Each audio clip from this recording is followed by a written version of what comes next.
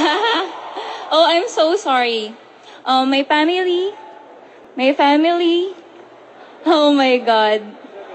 I'm...